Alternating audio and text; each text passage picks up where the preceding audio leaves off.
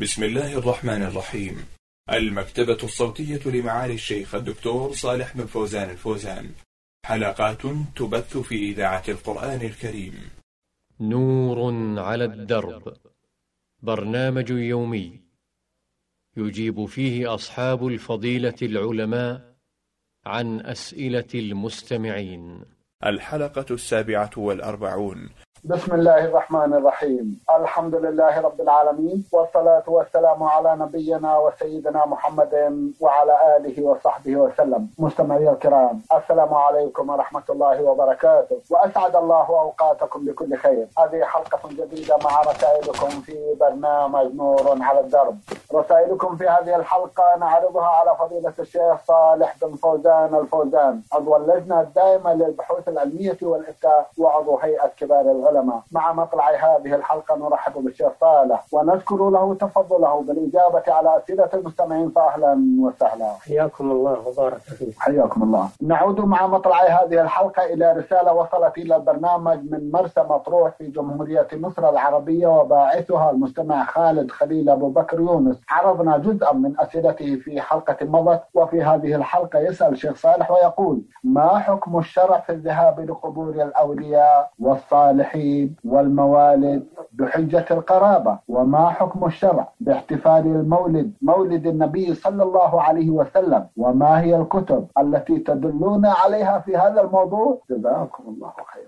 بسم الله الرحمن الرحيم. الحمد لله رب العالمين. صلى الله وسلم على نبينا محمد وعلى آله وأصحابه أجمعين. وبعد فإن زيارة القبور سواء قبور الأولياء والصالحين وقبور عموم المسلمين بل زيارة القبور عموما حتى قبور الكفار. زيارتها إذا كانت للموعظة تذكر الآخرة والاعتبار بالمصير فهذا أمر مشروع. وكذلك الدعاء للمسلمين لأموات المسلمين والاستغفار لهم والسلام عليهم هذا أمر مشروع ومطلوب. قال صلى الله عليه وسلم زوروا القبور فإنها تذكر بالآخرة أما إذا كان القصد من زيارة الأولياء والصالحين التبرك بهم والاستغاثة بهم وطلب الحوائج منهم فهذه زيارة محرمة وهي شرك أكبر يخرج من الملة لأنه شرك بالله عز وجل وصرف للعبادة لغير الله عز وجل من الدعاء والاستغاثة والذبح والنذور والتبرك والطواف في قبورهم هذه أمور شركية ينهى عنها الإسلام بل حتى لو زارها من أجل الصلاة عندها وهو لا يقصد القبور وإنما يقصد بالصلاة وجه الله عز وجل ولكن يظن أن الصلاة عند القبور لها فضيلة أو أن الدعاء عندها دعاء الله عندها له فضيلة. فهذه بدعة ووسيلة من وسائل الشرك. فكيف بفعل الشرك نفسه عندها؟ من دعاء للأموات استغاثة بهم وذبح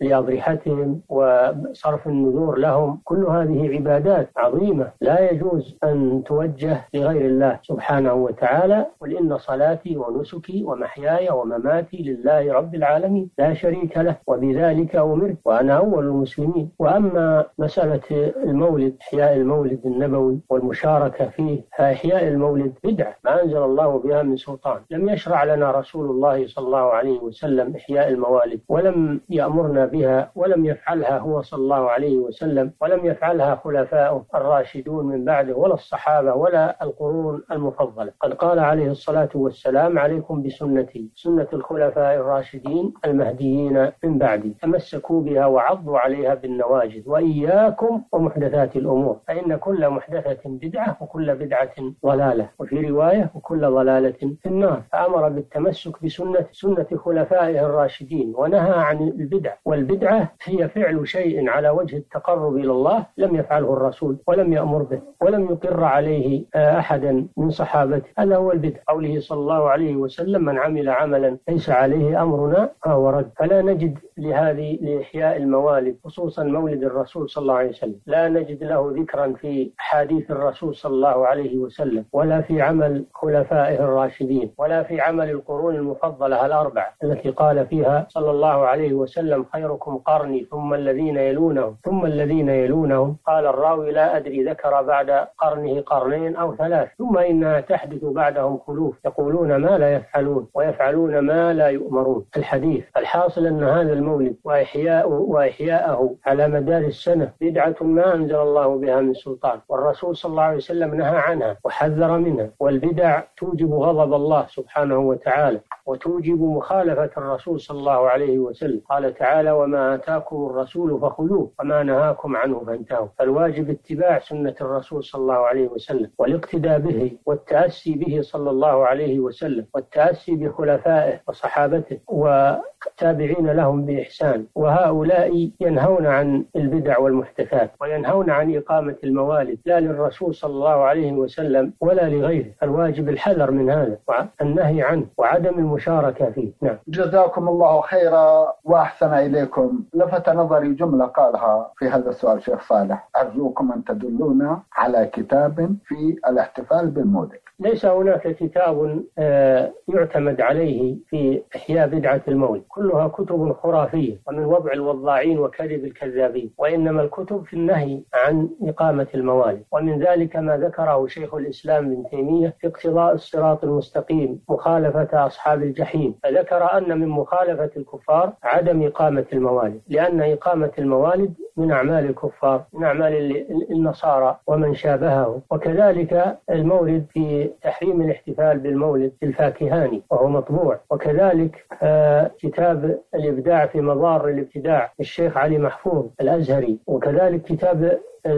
البدع والنهي عنها لابن وضاح. وكذلك ما كتب في هذه الأيام لأن بدعة المولد لأن بدعة المولد ظهر شرها وكثر المنافحين عنها فقام العلماء جزاهم الله خيرا بالرد على هذه البدعة. ومن ذلك ما كتبه الشيخ إسماعيل الأنصاري رحمه الله في كتاب مستقل في النهي عن إحياء الموالد. وكذلك ما كتبه الشيخ العلامة سماحة الشيخ عبد العزيز بن باز رحمه الله في التحذير من البدع ومنها الاحتفال بالمولد. كذلك ما كتبه الشيخ أبو بكر الجزائري المدرس في المعهد النبوي والواعظ فيه فإنه كتب كتابا حافلا في النهي عن هذه البدعة التحذير منها والرد على من يروجها. مدرس في المسجد النبوي أو في المعهد النبوي؟ في المسجد النبوي ومتقاعد ويدرس في المسجد النبوي. نعم. طيب إذا ليس هناك كتب يعتمد عليها تجعل الاحتفال بالموالد آه، أمرا مشروعا. كلها كتب خرافية لا يعتمد عليها بل بل إنها نقضت ورد عليها والحمد لله. وبين ما فيها من البطلان بالكتب التي ذكرناها. نعم.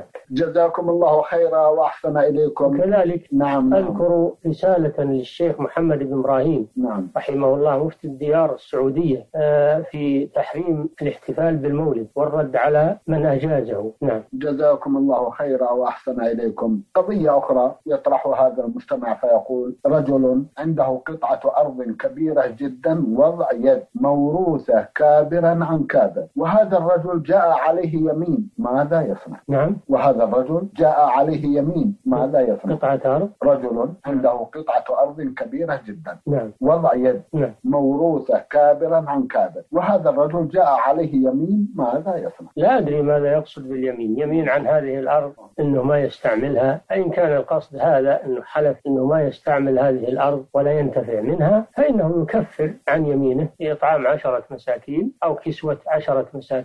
أو عتق رقبة. فإن لم يجد فإنه يصوم ثلاثة أيام وينتفع بهذه الأرض ولا تكون يمينه محرمة فيما أحل الله سبحانه وتعالى. نعم. جزاكم الله خيرا. يقول عندنا مسجد قريب منا ولكن العيب أن جيران المسجد لا يصلون معنا وهم منهم الأعمام والأجداد والإخوة. الصلاة في المسجد واجبة. قوله صلى الله عليه وسلم من سمع النداء فلم يجب فلا صلاة له إلا من عذر. ولما رجل أعمى يستأذنه في أن يصلي في بيته لأنه لا يتسنى له الحضور إلى المسجد إلا بمشقة شديدة. قال له النبي صلى الله عليه وسلم هل تسمع النداء؟ قال نعم. قال فأجب. فإذا كان هذا رجل أعمى يشق عليه الحضور ولما كان يسمع النداء لم يرخص له النبي صلى الله عليه وسلم. فكيف يليق بمن هو معافى وصحيح وقريب من المسجد أن يترك الصلاة في المسجد؟ وقد قال عبد الله بن مسعود رضي الله تعالى عنه آه، من سره أن يلقى الله غدا مسلما فليحافظ على هذه الصلوات حيث ينادى بهن فإنهن من سنن الهدى. وإن الله شرع لنبيكم سنن الهدى.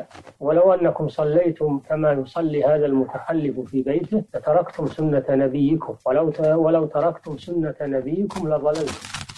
ولقد رأيتنا وما يتخلف عنها إلا منافق معلوم النفاق. ولقد كان الرجل يؤتى به يهادى بين الرجلين حتى يقام في الصف. قال صلى الله عليه وسلم أثقل الصلوات على المنافقين صلاة العشاء وصلاة الفجر ولو يعلمون ما فيهما لأتوهما ولو حبوا. قال عليه الصلاة والسلام لقد هممت أن آمر بالصلاة فتقام. ثم آمر رجلا يؤم الناس ثم آمر رجالا معهم حزم من حطب ثم أخالف إلى أقوى إلى رجال إلى رجال يتخلفون عن الصلاة فأحرق عليهم بيوتهم بالنار. فهذا وعيد شديد للمتخلفين عن الصلاة في بيوتهم والذين لا يحضرون إلى المساجد في أن النبي صلى الله عليه وسلم هم أن يحرق عليهم بيوتهم بالنار وما ذلك إلا لعظيم جريمتهم. وللمنكر الشنيع الذي اتصفوا به وقد وصفهم النبي صلى الله عليه وسلم بالنفاق. أثقل الصلوات على المنافقين صلاة العشاء وصلاة الفجر. وقال عبد الله بن مسعود ولقد رأيتنا وما يتخلف عنها إلا منافق معلوم النفاق. قد قال الله تعالى في المنافقين وإذا قاموا إلى الصلاة قاموا كسالى يراءون الناس ولا يذكرون الله إلا قليل. وقال تعالى فيهم ولا يأتون الصلاة إلا وهم كسالى ولا ينفقون إلا وهم كارهون. فإذا كان هذا وصف المنافقين وهو الكسل عن الحضور للصلاة فكيف بحال المتخلفين؟ نعم. جزاكم الله خيرا وأحسن إليكم جهة تقرض بفائدة وأنا أريد أن أشتري سيارة. هل يجوز أن آخذ القرض من تلك الجهة لأشتري السيارة؟ أو بماذا تنصحونني؟ جزاكم الله خيرا. القرض بالفائدة حرام ربا ربا صريح. قد حرم الله الربا ولعن النبي صلى الله عليه وسلم آكل الربا وموكله. وشاهديه وكاتبه وأعلن الله الحرب على المرابين. قال سبحانه وتعالى يا أيها الذين آمنوا اتقوا الله وذروا ما بقي من الربا إن كنتم مؤمنين فإن لم تفعلوا فأذنوا بحرب من الله ورسوله وإن تبتم فلكم رؤوس أموالكم لا تظلمون ولا تظلمون. الربا حرام شديد التحريم وهو مكسب سحت وخبيث ولا يجوز للإنسان أن يتعامل بالربا. ولو كان محتاجا فإن الحاجة لا تبيح لا تبيح المرابات عليه أن يطلب سداد حاجته بما أباح الله له. وشراء السيارة ليس ضروريا. فعلى الإنسان أن يتقي الله سبحانه وتعالى. إن وجد من يقرضه فإنه يقترض. قرضا حسنا بدون فائدة. وإن لم يجد من يقرضه فإنه يشتري السيارة بثمن مؤجل. وعلى أقساط على حسب استطاعته. ولو طال الأجل وزاد الثمن عن الثمن الحاضر. فهناك ولله الحمد. مخارج للمسلم. من يتق الله يجعل له مخرجا ويرزقه من حيث لا يحتسب ومن يتوكل على الله فهو حسبه. الحاصل أن الربا لا يجوز التعامل به في حالة من الأحوال مطلقا لأنه سحت وحرام وخبيث. نعم. جزاكم الله خيرا وأحسن إليكم. لديهم عادة الشيخ صالح يقول إذا جاء رجل من قبيلة أخرى يخطب بنتا من قبيلتهم فإن ابن عمها يتمسك بها حتى ولو كانت البنت رافضة ويرجوكم التوجيه. هذه من عوائد الجاهلية ومن ظلم النساء والعضل المحرم وهذا كبيرة من كبائر الذنوب. فلا يجوز لأولياء المرأة أو لبني عمها أن يحجروا عليها الزواج إلا من قبيلتها أو من بني عمها؟ هذا من أمور الجاهلية وهذا ظلم للنساء وعضل للنساء. فلا يجوز إقراره ولا يجوز العمل به. الواجب تأديب من يفعل هذا. إذا كان في سلطة المسلمين الواجب على ولاة أمور المسلمين أن يؤدبوا من يعمل هذه العملية الجاهلية وأن يزيلوا الظلم عن هؤلاء النسوة الضعيفات. نعم. جزاكم الله خيرا. مستمعة تقول أختكم في الله ف... فنون. بعثت برسالة وضمنتها جمعا من الأسئلة. في أحدها تقول هل اسم الشخص المسمى به في الدنيا هو اسمه في الآخرة حتى وإن كان اسما غير حسن؟ وما هي نصيحتكم لمن ابتلي باسم غير حسن ولا يملك تغييره هل يبقى على هذا الاسم إلى أن يتوفاه الله؟ وما هي نصيحتكم للآباء والأمهات في اختيار الأسماء الحسنة لأولادهم وبناتهم؟ جزاكم الله خيرا. من حقوق الولد على والده اختيار الاسم الحسن. فهذا من حقوق المولود على والده. وإذا سماه باسم غير حسن فإنه يكون واثما وعليه مع ذلك أن يغير الاسم. قد غير النبي صلى الله عليه وسلم أسماء رجال من الصحابة لما أسلموا وكانت أسماءهم غير غير حسنة غيرها إلى أسماء حسنة. ويجب تغيير الاسم إذا كان فيه محرم كما لو عبد لغير الله كما لو سمي عبد الكعبة أو عبد العزى أو عبد فلان فإنه يغير.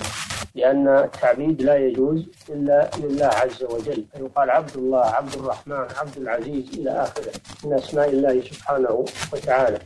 قد قال صلى الله عليه وسلم خير الأسماء عبد الله وعبد الرحمن. ولا مانع أن السائل يغير اسمه أو السائلة. أن يغير اسمه وليس هذا بممتنع بل هذا سهل جدا. نعم. وأما في الآخرة فالله أعلم. أمور الآخرة لا بد فيها من دليل. هل يبقى على اسمه في الدنيا ويبقى معه في الآخرة أو لا يبقى؟ هذا الله أعلم. يحتاج إلى دليل. نعم. جزاكم الله خيرا وأحسن إليكم. قبل ما يقارب خمس عشرة سنة حجت أمي ولم ترجم علما بأنها قادرة على ذلك وقد رجم عنها والدي. فما يلزمها الآن؟ ما يتعلق بالسؤال الذي قبل هذا. نعم نعم. ورد أن المؤمن إذا قبضت روحه نعم. وصعد بها إلى السماء ولها رائحة طيبة فإذا مر بأهل السماء وأعجبتهم هذه الرائحة سألوا من هذا؟ فيقال هذا فلان بن فلان بأحسن أسمائه بأحسن أسمائه في الدنيا. دل على أن الميت يسمى بأحسن أسمائه في الدنيا. السؤال اللي بعده. تسأل وتقول قبل خمس عشرة سنة حجت أمها ولم ترجم بل رجم عنها أبو زوجها وتسأل عن الحكم لا بأس بذلك إذا كانت وكلت آه، من يرجم عنها وهي معذورة لا تستطيع الرجم بنفسها. ووكلت من يرجم عنها وفعل ما وكلته به رمى عنها الجمرات. هذا العمل صحيح. إن شاء الله. جزاكم الله خيرا. من درعا الجمهورية العربية السورية مستمعة تقول ألف ميم ميم. تسأل وتقول ما حكم كتابة الوصية؟ هل هي واجبة؟ جزاكم الله خيرا وأحسن إليكم. الوصية على قسمين قسم واجب وقسم مستحب. القسم الواجب إذا كان على الإنسان ديون أو عنده أمانات أو له ديون على الناس ليس فيها وثائق فإنه يوصي بها. يجب عليه أن يوصي بماله وما عليه وما عنده للناس من أمانات وودائع حتى لا تضيع على أهلها بعد وفاته. هذا واجب عليه. ولهذا جاء في الحديث ما حق امرئ مسلم يبيت ليلتين إلا وصيته مكتوبة عند رأسه. هذا في الأمور الواجب. أما الوصية المستحبة فهي أن يوصي بثلث ماله فأقل في وجوه الخير لغير وارث. أن يوصي بثلث ماله فأقل في وجوه الخير ويكون لغير وارث لأن هذا يجري عليه نفعه بعد موته فهو مستحب. ولكن إذا كان ورثته محتاجين فكونه يترك المال لهم ولا يوصي أحسن. قوله صلى الله عليه وسلم إنك أن تذر ورثتك أغنياء خير من أن تتركهم عالة يتكففون الناس. وهو مأجور. إذا خلف لورثته المال وانتفعوا به وأغناهم عن الناس فإنه مأجور على هذا ولو لم يوصي جزاكم الله خيرا وأحسن إليكم شيخ صالح في الختام أتوجه لكم بالشكر الجزيل بعد شكر الله سبحانه وتعالى على تفضلكم بالإجابة على أسئلة المستمعين. وآمل أن يتجدد اللقاء وأنتم على خير. مستمعي الكرام وكان لقاؤنا في هذه الحلقة مع فضيلة الشيخ صالح بن فوزان الفوزان عضو اللجنة الدائمة للبحوث العلمية والإفتاء وعضو هيئة كبار العلماء. شكرا للشيخ صالح وأنتم يا مستمعين مستمعي الكرام شكرا لحسن متابعتكم. ونحن نرحب برسائلكم على عنوان البرنامج. المملكة العربية السعودية الرياض الإذاعة برنامج نور على الدرب. مرة أخرى شكرا لكم مستمعي.